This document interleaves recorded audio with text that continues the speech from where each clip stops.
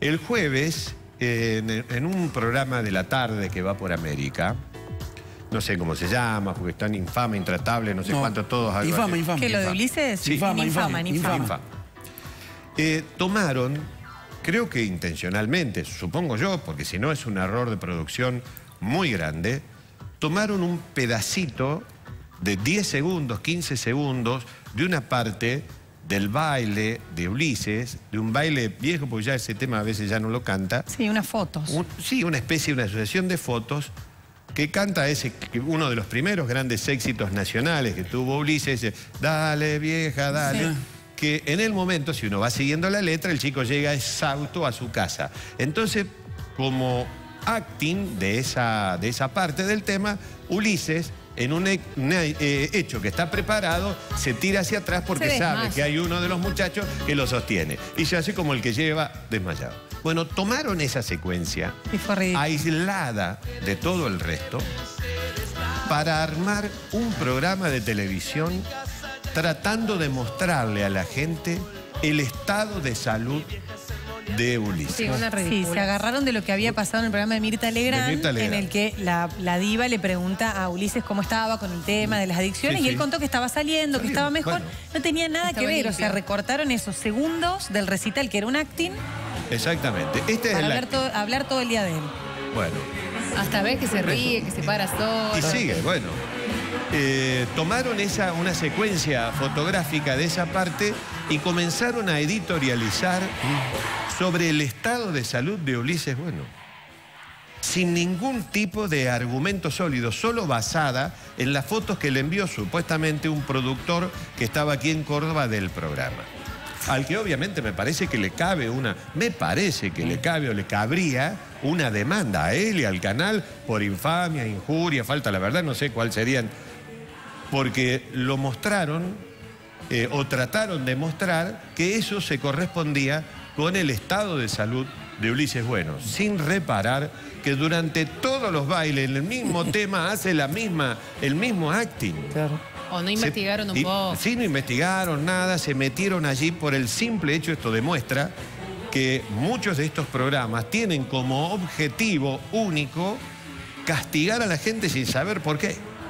Pero generar ese tipo de polémica y de controversia Sí, sin inventar. medir, inventar, sin medir. Me llamó mucho la atención porque dentro de los que estaba involucrado era Luis Ventura Sí, que sí. es un hombre que se supone debe conocer eh, y además ha estado acá en Córdoba porque ha hecho temporada una vez y, este, y, y bueno, y viene bastante seguido o muy seguido, no sé si muy seguido, pero viene. a También está Córdoba. Denis Dumas en ese programa. Denis Dumas, que conoce perfectamente lo que es este, Córdoba, porque ha hecho temporada acá, ha trabajado con el negro Álvarez, en fin. Podría haber, rec- podrían haber recabado un poco más de información antes de castigarlo a este chico con semejante, de semejante manera. ¿Vieron lo que Bueno. eran las- los titulares, las placas abajo, Sí. las Sí, cosas sí. que decían? Porque se metieron con, con la intimidad, con lo del robo, con lo de la ex mujer, todo. con todo. o sea, un- Mezclaron absolutamente todo. Con la droga, con el alcohol. En un acto de maldad absoluta. Porque el mismo pibe, el mismo Ulises, ha reconocido sus problemas. Cuando estuvo acá con nosotros, ha- no solamente acá, lo- ha reconocido sus problemas. Ha reconocido que, que ha salido, que está Sí, saliendo, sí, que sí. le cuesta. este, Que por ahí tiene algunas Que por ahí tiene algunas recaídas. pero va adelante y, y se lo ve al chico trabajando con- todavía. Con Mirta se lo vio muy bien. Y Sí. se lo vio muy bien con Mirta, bien. reconoció y todo. Bueno, en vez esta, esta locura de los medios que buscan la carroña, en vez de ayudarlo al chico este, bueno, mirá, es un artista, es un tipo popular, conocido, en vez de ayudarlo, si es que tiene algún problema, no. La gracia parece ser que está en hundir más, en meterse en la basura, en golpearlo ya caído, como han hecho con muchos. Sí, sí, sí. Después, bueno, si la justicia demuestra lo contrario, se hacen los pagos. Pero no solo pasó el jueves, el viernes volvieron ya conociendo el tema y como no podían, parece Claro. ser Sí, que a ellos les cuesta mucho retractarse y decir, miren, nos mandaron un- un- la- el material que nos mandaron desde Córdoba estaba mal montado, mal intencionado, no nos informamos, cometimos un error, empezaron a redoblar la Y- apuesta con otros hechos. Con el agravante que el jueves habló la Telu. El Claro. Telu es, mi- es mi amiga, yo la conozco. Sí. La Telu es la, es la mamá de Magali, Claro. que es la tía de la hermana de Beatriz Olave. Sí. No le dejaron hablar, le dijo, están equivocados. Le mandaba mensaje a, a Luis Ventura le decía, che, está, está mal lo que están hablando. Es un acting que hace con Popú. Popú es el locutor. El locutor, sí, tiene los brazos que, Popú. que se pone atrás en ese momento. tira. Y no le dejaron hablar. Le cortaron el teléfono. Además, no le está dejaron hablar. Claro, ya estaban metidos que- y no, no querían dar marcha atrás. Claro, no queriendo dar marcha atrás. Está clarísimo que Ulises está en su mejor momento. El hecho de que la producción de Mirta Legrand lo haya elegido para cerrar, el, para cerrar la temporada en Mar del Plata, Sí. que siempre la cierra como el artista del momento, el artista del verano. Han pasado por allí grandes Sí, sí, artistas, no solo argentinos, sino de otros lugares del mundo. Imagínate el momento profesional que está viviendo Ulises. O sea que nada que ver lo que montaron en, en esa tarde de Ninfama. Bueno, eso lo Tremendo hace. fue. Lo hace ahora, siempre. ahora justo el sábado yo pregunté si la había cantado o no la cantó. Me parece que no la cantó el sábado. A veces la canta Sí. y a veces no la canta, pero cuando la canta hace lo mismo. El sábado publicó en su cuenta oficial de Instagram una foto de él desmayado. También dice, Marcos, mi representante, me pasó la gente y me desmayé nuevamente. Como ironizando, Y sí, ya se lo toman Claro. por... como Pero ironizando sobre a- el a- asunto, ¿no? A mí me parece que algo de seriedad, de humanidad debe haber en estos programas que yo sé, entiendo, que forman parte del negocio de la televisión, un negocio que uno puede estar de acuerdo o no puede estar de acuerdo, pero debe haber algún límite, porque el- digamos, la mentira debe ser un límite, porque si vos te estás diciendo una mentira, bueno, nada de lo que digas se puede sostener. Ellos tienen que. Ahora, Pero- este, sí, obviamente, vos tenés algún dato, qué sé yo, bueno, fantástico.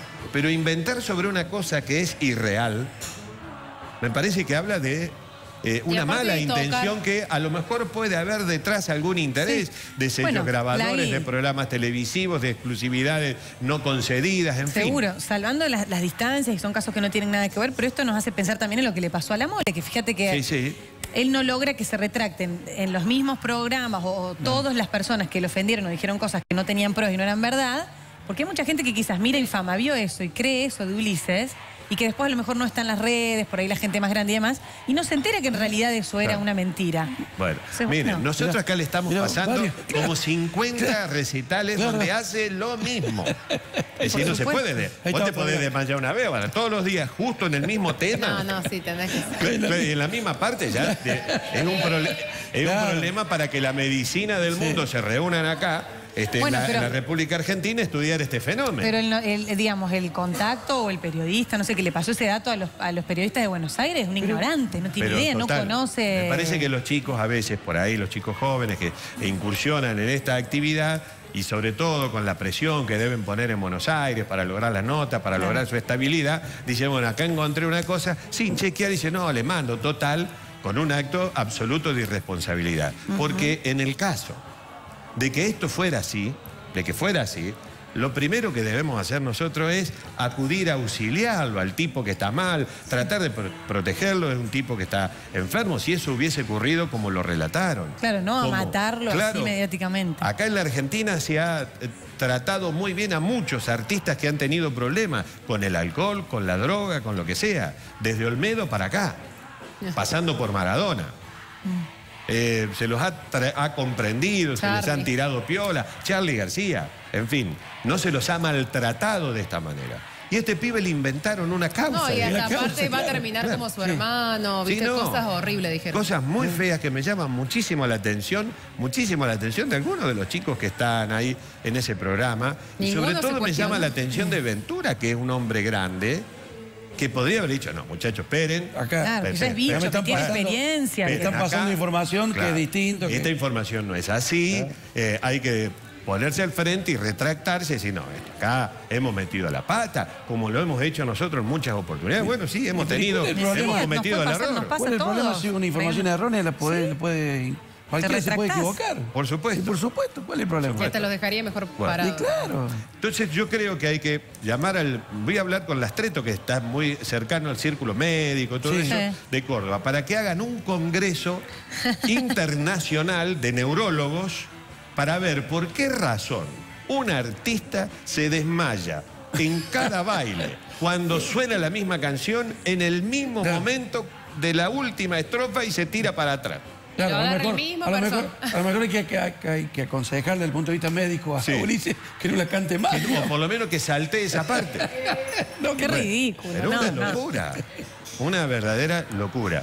Yo creo que eh, este es un camino por el que van transitando algunos periodistas que debieran replanteárselo. Es medio de mal gusto, de mal gusto, intencionado. Yo quiero creer que puede haber habido algún grado de intención de castigarlo duramente a Ulises. Siempre pasa con los artistas del interior, siempre pasa que les cuesta muchísimo llegar allá. Recuerden a Rodrigo lo que le costó llegar y Sí. todas las cosas que le inventaron. Después, bueno, tuvo sus problemas, pero le costó muchísimo. Recuerden lo que le pasa a la mona, que todavía no puede hacer pie firme, firme, firme en Buenos Aires. A lo mejor ya no quiere. Ya no quiere, me No. Sí, quiere, no quiere. No quiere, ni No le hace importa, falta ni- incluso. Ni, le hace falta a la mona. Pero también tuvo algún grado de inconveniente. Recuerden a los humoristas cordobeses, no quiero nombrarlos, pero hay dos o tres que les costó muchísimo. Tal vez la excepción sea el negro Álvarez, pero que tuvo que comenzar el negro Álvarez trabajando con Dringue Faría. Sí. Tal vez es como excepción. Y, y el negro se tuvo que radicar en Buenos Y Aires. se tuvo que radicar en Buenos Aires. Le cuesta mucho a los porteños asimilar que vengan talentos de otros lados que este, le generen todos esos, todos esos ruidos. Le cuesta a los folcloristas. Le cuesta, ¿Por qué razón eh, los folcloristas nacen todos desde Córdoba? Soledad, Luciano Pereira, Claro. eh, eh, mm, Abel Pinto. Abel. Abel Pinto, Sí. Los Nocheros, Jorge Rojas, eh, el Chaqueño Palavecino, todos surgidos Rally. desde Córdoba.